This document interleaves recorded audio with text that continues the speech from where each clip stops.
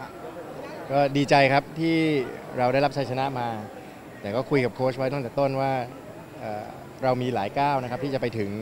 เอ่อฟุตบอลโลกนะครับนี่เป็นก้าวแรกที่เราตั้งเป้าไว้แล้วเราก็สามารถทำความสำเร็จมาให้พี่น้องประชาชนได้ชื่นชมนะครับเอ่ออย่างไรก็ตามเรายังมีงานหนักที่จะต้องเตรียมทีมนะครับสำหรับปลายเดือนนี้วันที่ 28 ถึงวันที่6นะครับจะเตรียมทีมคัดไปชิงแชมป์ เอเชียนะครับซึ่งรับแค่ 16 ทีมแค่นั้นเองนะครับถ้าเราได้ไปที่บาห์เรนเนี่ยก็จะมีโอกาสได้ต่อยอดไปที่เกาหลีใต้เพื่อแข่ง under 20 ครับ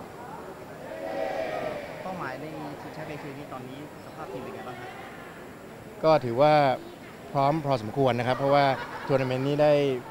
มีโอกาสให้น้องๆได้สร้างความสัมพันธ์ซึ่งกันและกันนะครับ ในเกมแล้วก็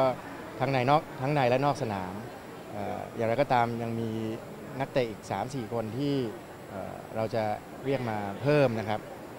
เพื่อเสริมทีมให้แข็งแกร่ง แต่ในขณะนี้น้องๆที่มีอยู่ก็สามารถผสมผสานกันได้ด้วยดีนะครับเรายังมีระยะเวลาอีกประมาณ 20 กว่าวันนะครับ ที่จะทำการซ้อมนะครับเพื่อเตรียมทีมเอาชัยชนะกลับมาอีกครั้งหนึ่งให้ประเทศไทยครับอยากให้เล่าถึง